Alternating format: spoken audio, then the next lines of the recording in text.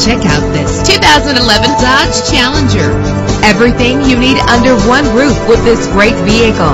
With a powerful eight-cylinder engine connected to a smooth shifting transmission. Savor your listening experience with the premium sound system.